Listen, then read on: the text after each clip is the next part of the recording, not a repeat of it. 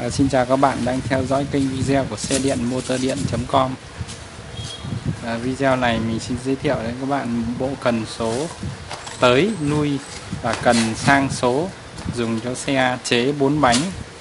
À, máy xăng nó dùng rất là phù hợp đối với những dòng chế từ máy 110 à, ờ, sang à, à, xe 4 bánh.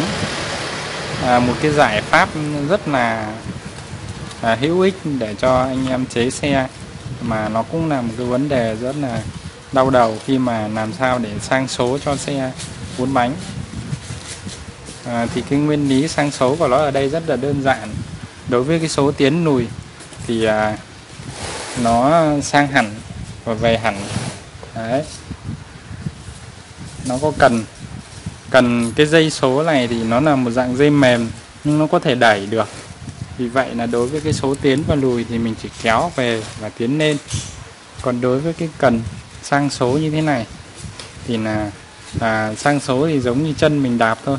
Mình đạp một cái thì mình nhả về thì thằng này nó cũng thế. Kéo một cái nhả, kéo nhả kéo nhả. Muốn lùi thì ấn ra mà muốn lên thì kéo xuống. Đấy, nó rất là dễ.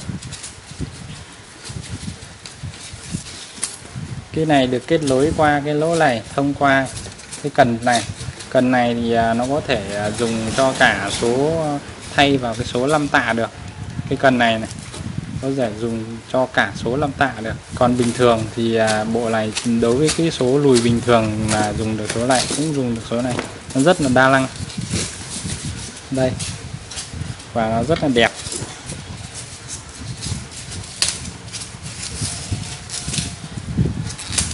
Đấy, làm ô tô mà có cái bộ này thì cực kỳ là chất luôn.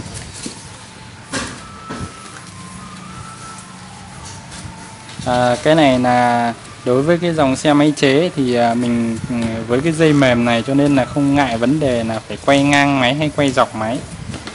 Thì à, đều sang số được hết. Dây của nó là cũng tương đối dài cho vị trí bố trí máy cho nên là rất là hợp lý. À, cái bộ số này à, và hai sợi dây à, bên mình đang bán ra với giá là 950.000 đồng.